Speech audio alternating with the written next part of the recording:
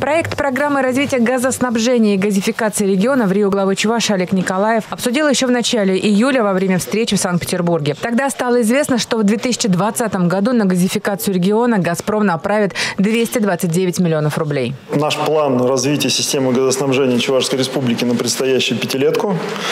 Э, мы полагаем, что это будет серьезный вклад в развитие социально-экономической территории. Э, ну, в дальнейшем мы продолжим эту работу, ну, в частности, республика собирается актуализировать э, схему газоснабжения. Это, возможно, потом вызовет некоторые изменения этой программы. Но мы с достаточным оптимизмом смотрим э, на эту ситуацию, полагаем, что республике от этого точно будет много добра.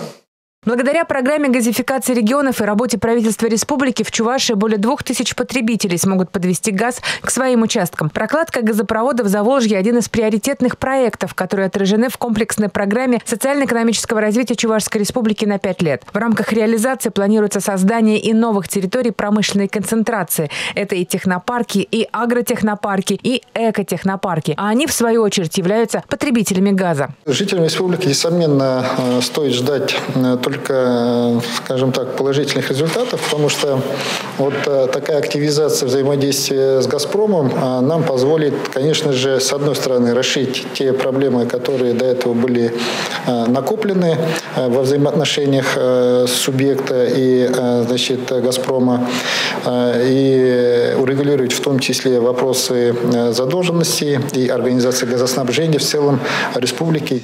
Планы у республики масштабные. Руководители региона не исключают, что могут появиться новые объекты, не прописанные в программе. А договор с «Газпромом» позволит расширить возможности реализации инвестпроектов. Татьяна Молокова, Андрей Спиридонов, Республика.